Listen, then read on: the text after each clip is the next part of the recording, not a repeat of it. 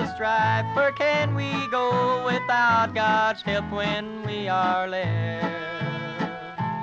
And a neighbor comes around and helps you out when you are down. Are you treating your neighbor as yourself?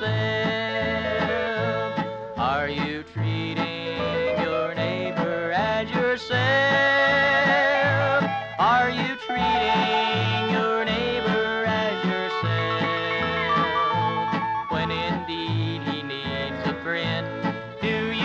Him try to mend? Are you treating your neighbor as yourself?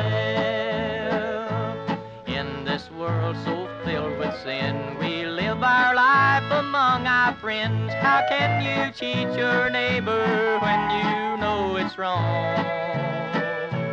If you'd only work and pray to help some sinner find his way, read the precious old Bible see.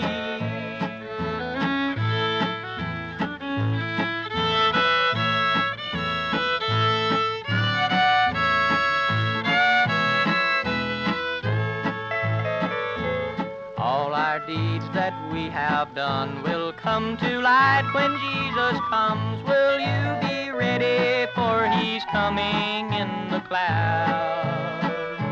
Or in that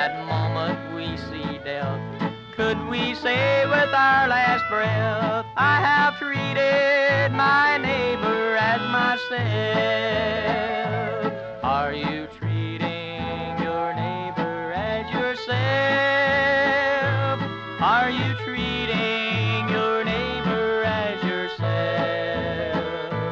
When indeed he needs a friend, do you help him try to mend?